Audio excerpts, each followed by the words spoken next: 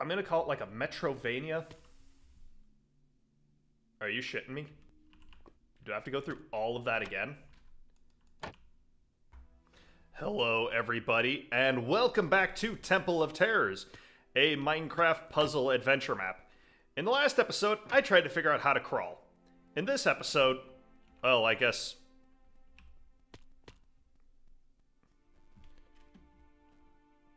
I kind of noticed something weird. Like the. Oh, there it is. Maybe? It's like the Minecraft audio. The Minecraft music isn't coming in on.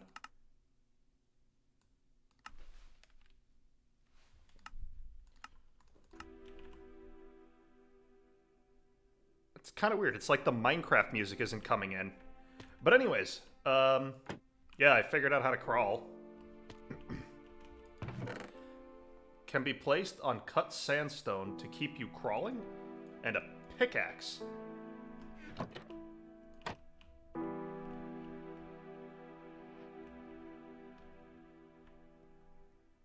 What am I doing? Oh. Can be... What's that right there? Can be placed on cut sandstone. Okay.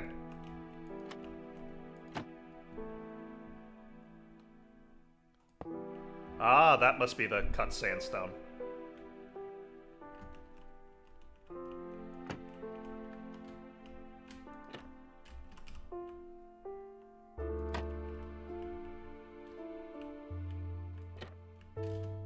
Alright, now I'm stuck here. Right? Or am I not stuck here?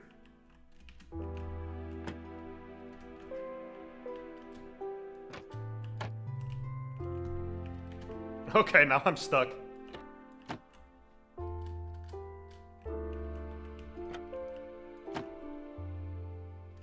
what's this for?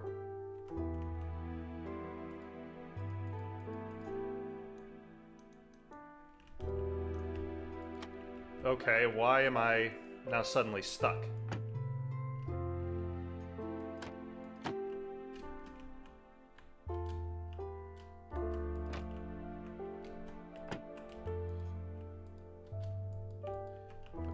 Infinite wisdom, how do I get unstuck?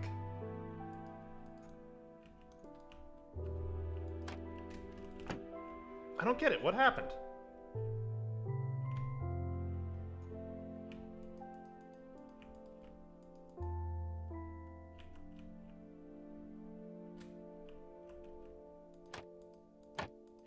I was doing so well. Oh. Wait, how does that work? Yeah, whatever. Oh, I placed that. Oh! Okay, that's where I grabbed that from.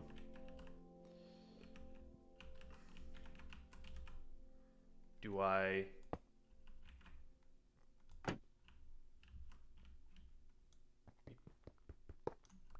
Break that, keep going, shift down, and keep crawling. Okay!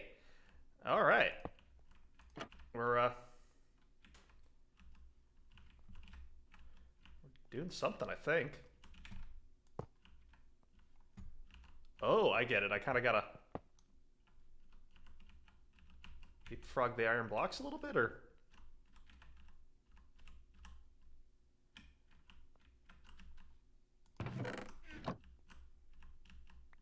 Nope, wasn't able to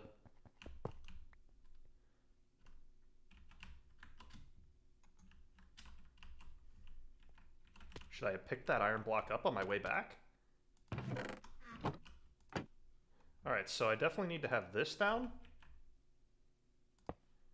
And that down. Oh, that might be what I had to do. Okay. So, so far I really like this map. It's such a unique premise on... It's just a very, very unique premise.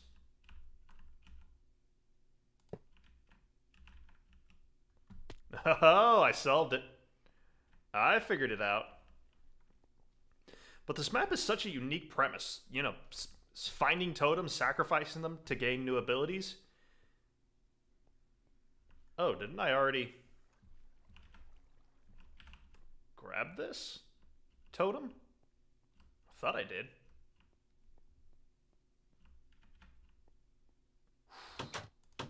Nope, that chest is still locked. I still don't know what these various little push buttons do. Or why the... eh, They look like push buttons anyways, that are just kind of suspended there.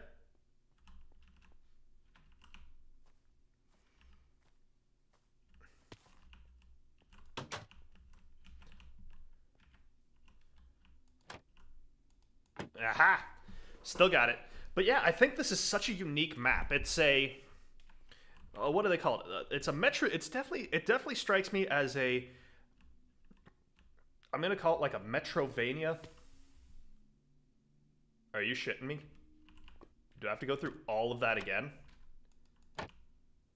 What even happened there? Oh well, at least the iron blocks and stuff come back. Okay, I guess that's not so bad then. So this definitely strikes me as like a Metrovania style of map where uh, you complete the map or you complete the level and then you come back and redo it but with abilities different abilities. So there's multiple paths to uh, to beat the same map. Oh oh so if I hit that I'm crawling there we go. And I so I really like that. This is very unique among among survival maps, not even survival maps, adventure and puzzle maps I've done in the past. The crawling thing is definitely kind of cool. I didn't I didn't know that crawling was a mechanic in in Minecraft. Well, I, I might have known from playing some other adventure maps, but uh, I didn't realize that crawling was really a thing. What I thought was crawling. Hang on. Or what I what was actually crawling in some of those maps, I thought was just I they phased me through like a block or something. Not that my character was actually like crawling. Now here's the offering this time. How odd. Alright, the offering wasn't there last time. I don't get it.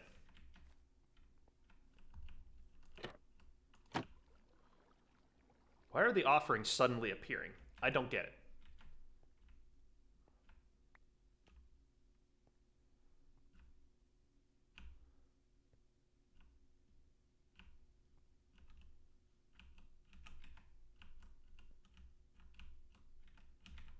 So is there like a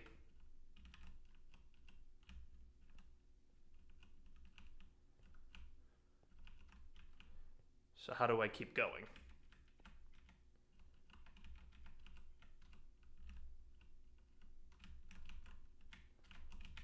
How do I advance here?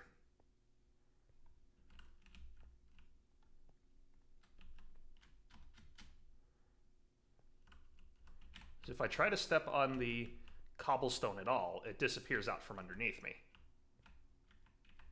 So I can get here.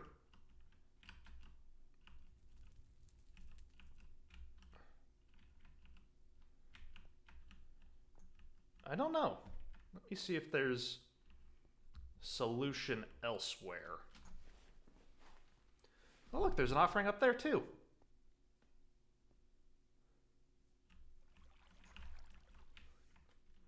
So it doesn't look like there's really another way that I can go, mostly because I can't jump at the present. So this really is my only way forward.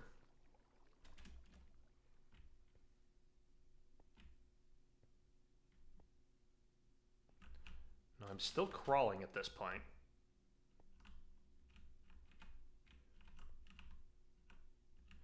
Is there some leap of faith shit I gotta do?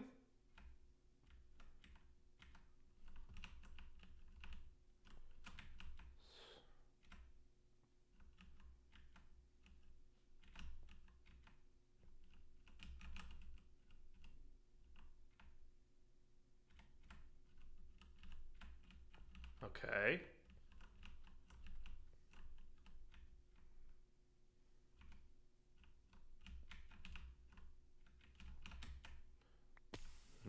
that ain't it. So I don't think it's a leap of faith thing. I would hope it isn't a leap of faith thing. But at this point, I really don't know what else to try.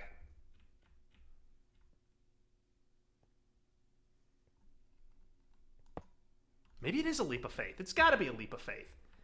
It's the only thing that I can think of it maybe being. But that wouldn't make sense for it to be a leap of faith.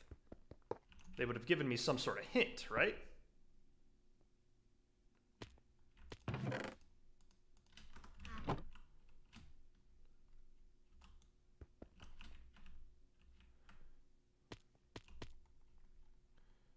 So let's see here. So you go here, you go here.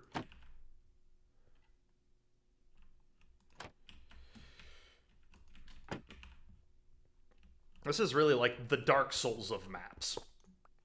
So I did actually play through Dark Souls. I did play through all the Dark Souls. Uh, I did it co-op because I am a pathetic excuse for an individual, I guess. Uh, I actually beat. Uh, I actually beat three co-op. I think even on up to New Game Cl- Plus, and I. Uh, wonder what those buttons are for. And I I did uh, I did end up beating three on on New Game Plus as well. Uh, was really really fun. Definitely not the kind of game that I would personally play by myself, anyways.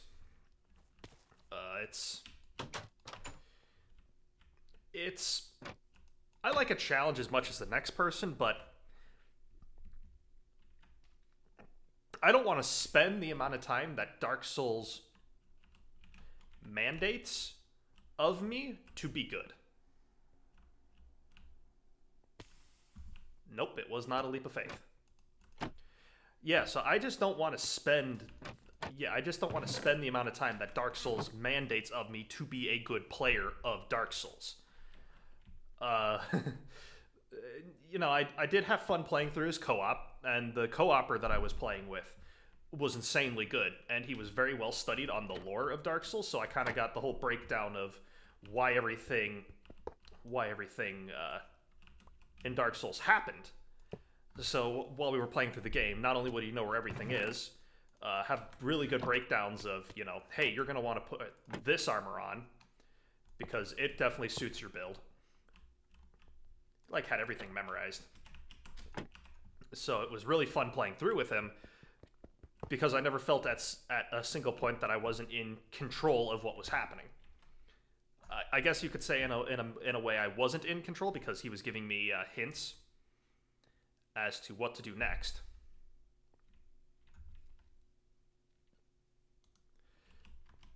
But uh, yeah, it was super fun to play through co-op.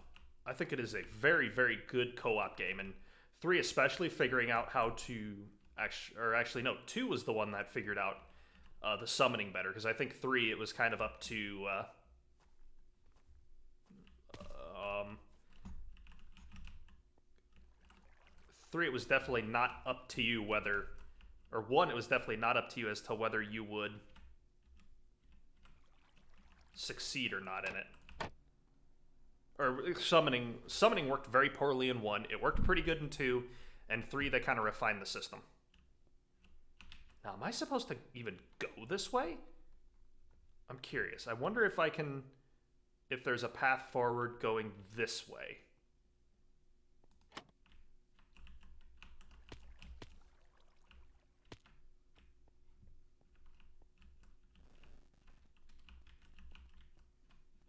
No, there ain't. So I just screwed myself.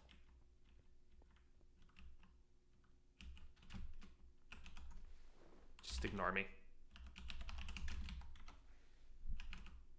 Ooh. Ooh. Nope. I am living with the mistakes that I've made.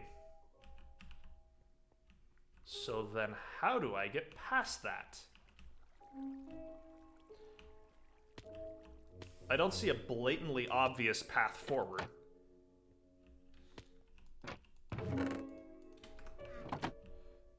Like, I really don't see a blatantly obvious path forward.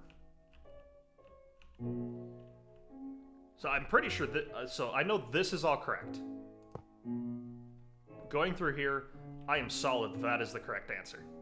I just had a heart attack because. So on OBS, it shows both my recording and my streaming timers next to each other because you can do both with OBS. And I didn't see my. And I looked it down and I didn't see. I looked. I saw my streaming timer at zero and had a heart attack. That would have just been damn unfortunate. So I'm actually recording this pretty late in the day. Uh, I I really need to get better personally at at uh, slotting out time for recording, and when I do record, doing multiple recordings in a single session. Because right now I do a single recording a day, and like today being uh, Saturday, for this episode to go up on Sunday, I was busy. I was basically busy doing yard work with my family. I went over to my parents' house to help them out with uh, cleaning up their yard, getting stuff over to their warehouse for uh, getting ready for winter, basically. Uh, getting all the patio furniture out of there because obviously we're not going to be using patio furniture for the next several months, being as though this is the Midwest and winter is a thing. So this is definitely the way forward.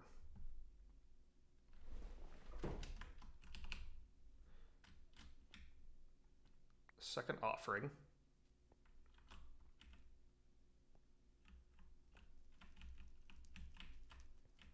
Oh, so I can just kind of...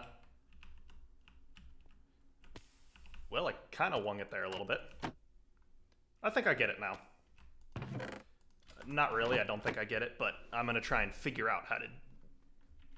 So there's a little, there's a slight delay between when you step on the cobblestone there and when it jerks out from underneath you. So I'm going to try and take advantage of that, of that slight delay. And I think that's what I got to do here.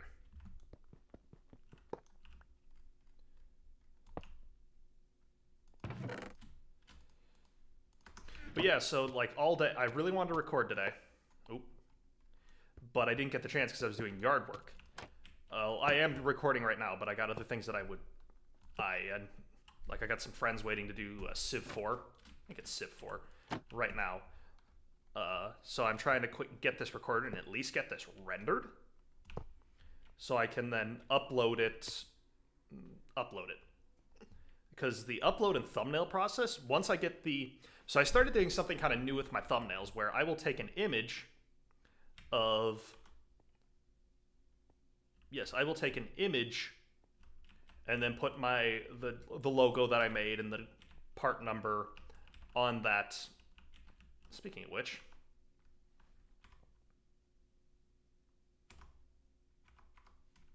and I will make that and I'll so I used to do like a static a static background for my thumbnail.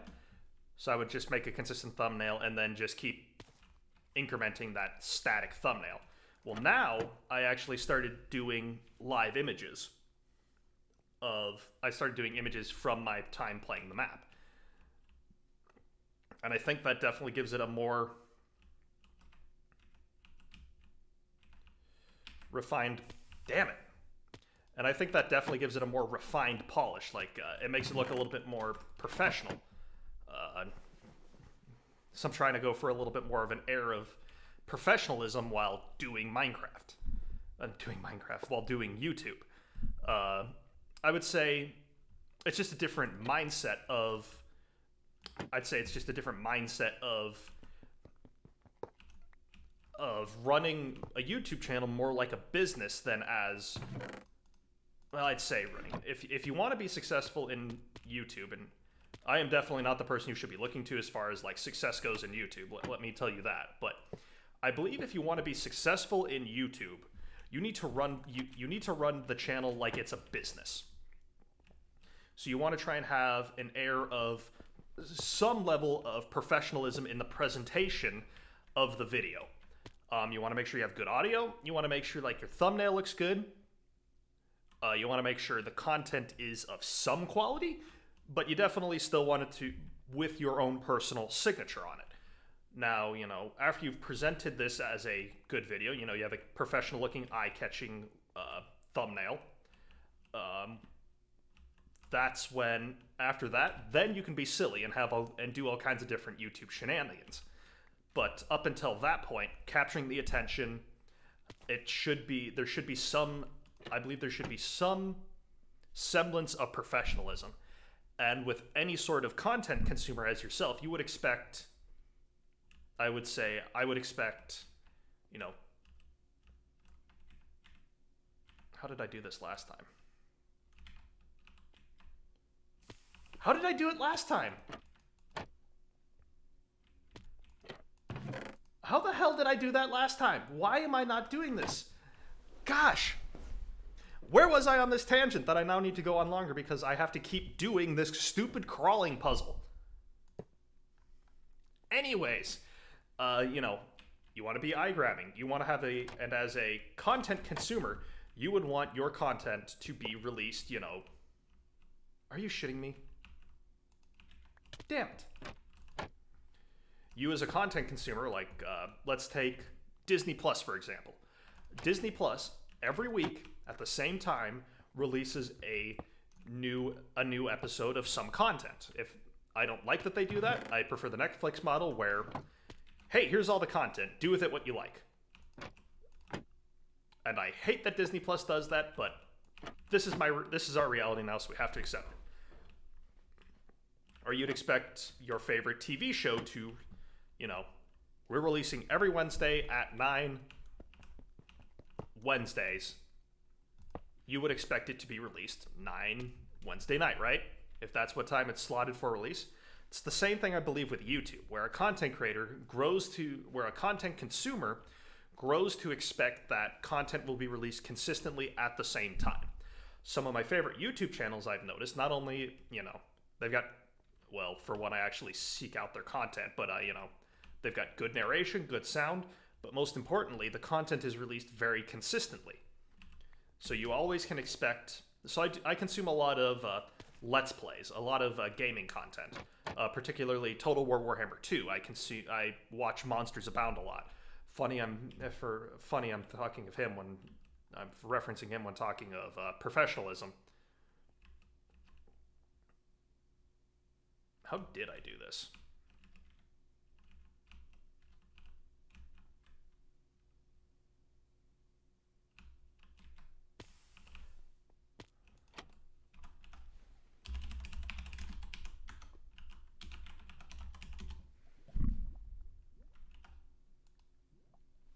Damn.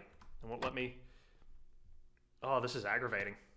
This is a cool map, but this part is aggravating. But yes, you would expect your content creator to release the same time every day.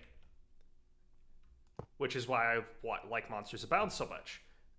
He releases, you know, right around the time I usually take my lunch break at work. So for lunch, I get to watch Total War Warhammer 2 content. And it's he's genuinely funny he's genuinely funny, but most importantly, the content is consistent. You know, I as a fan have come to expect, you know, content to be released before I go on lunch, and he consistently delivers. So in that way, you know, very similar to a business. So in a roundabout way, the very long-winded spiel that I'm using to stall for time why I fail at beating this puzzle is that a YouTube should be run kind of like a business. If you're of a if you're of a type of media, if you if you provide a type of media such as gaming, for example, which I do a lot of, I'd say the vast majority, damn near everything I do is gaming. You would expect that a gaming channel would be able to release content on a daily basis. To a point, I would say. Once you're a very established channel where uh, the name of your channel alone basically guarantees that there will be views on your on your uh, content, then you can kind of taper back, maybe release a little bit inconsistently, or if you do it full time, you can basically bombard, bombard. Uh, I, bombard such a negative word.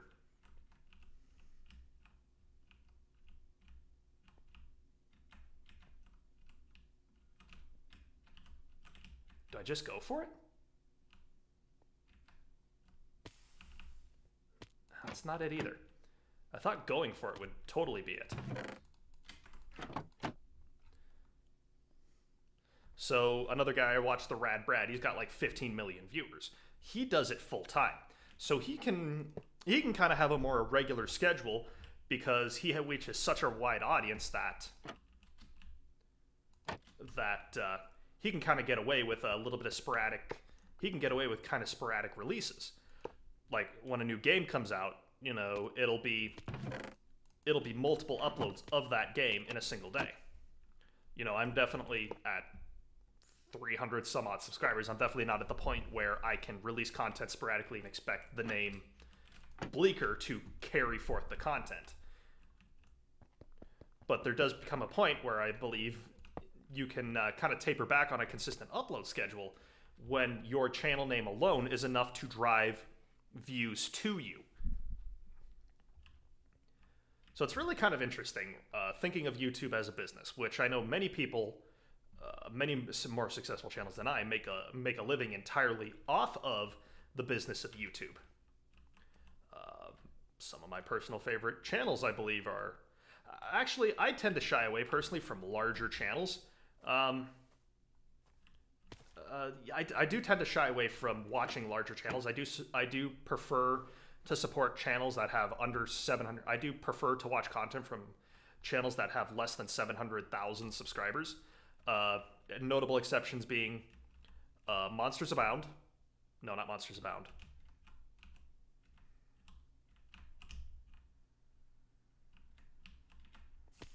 How the hell are you supposed to do that? Notable exceptions being the Rad Brad, um, Northernlion, that's that's pretty much it. I, I do try to keep I do try to basically keep my uh, my focus on smaller YouTube channels. You know, support small YouTube basically. Plus, I believe that at times larger channels can just like release shit as like the most clickbaity shit you've ever imagined and be successful. I hate clickbait titles more than anything. And I believe larger YouTube channels, god, they're like the worst for it. They'll release ambiguous titles, big news, you'll never guess what I did, and try to make the stupidest clickbaity title. And the quality of the content is shit. Or they'll make you think something big's happening when it's just a mundane video, but because it has a clickbait title, and you want to know what the hell's going on, because some you know they're so huge. I think that's why I unsubscribed from Markiplier. Like, I used to watch Markiplier content fairly regularly, but then it struck me as... It, I think it became a little bit too corporate for my taste. I don't know. I mean, Mark strikes me as a pretty cool dude, but you know, it's not fair to say things negatively about YouTube channels, mostly because my opinion ultimately does not matter. Um, they're good at what they do.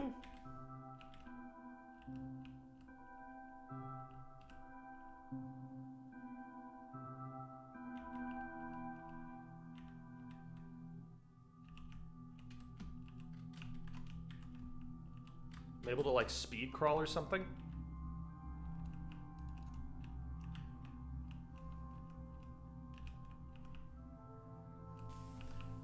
I don't know how to do this. I do not know how to do this, and I find that frustrating.